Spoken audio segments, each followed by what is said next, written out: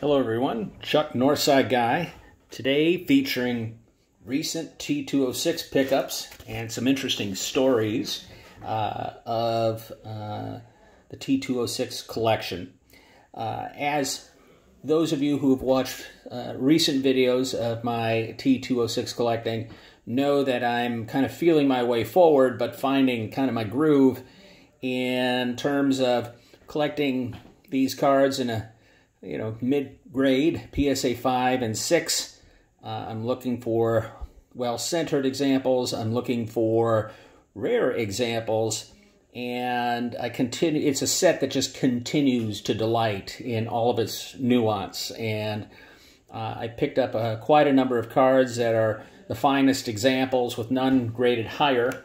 And uh, that's just thrilling to have in a collection when we're living in an era of manufactured scarcity.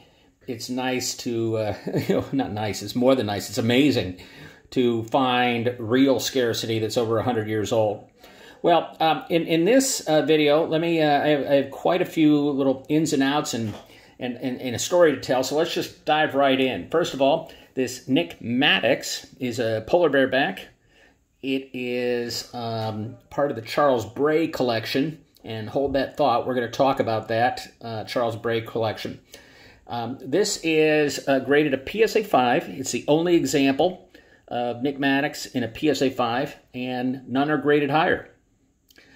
Uh, in the middle uh, is a card I picked up in a recent heritage auction of the Powell Miller uh, collection uh, that was being broken up um, and very famous collection by a uh, an attorney in Detroit.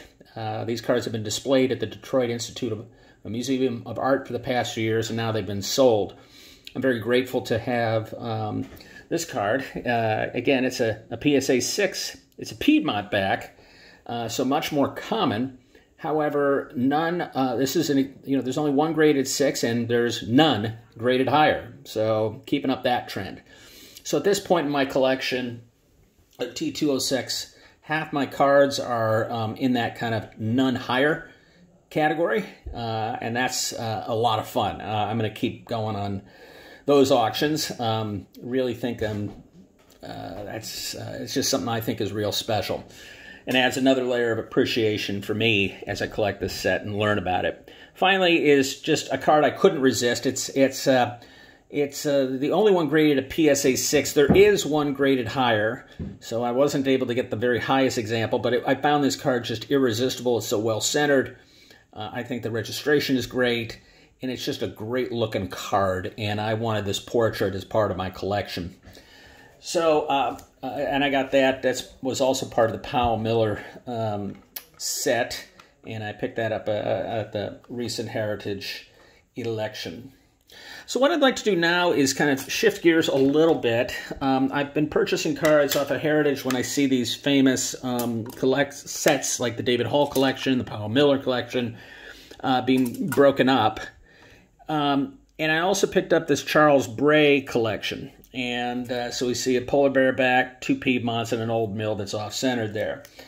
And uh, I have featured uh, some of these cards in earlier videos, but I wanted to feature all four of them together. They're all from the Charles Bray collection. And I think, if you don't know, I think it's really interesting to know, you know, who is Charles Bray.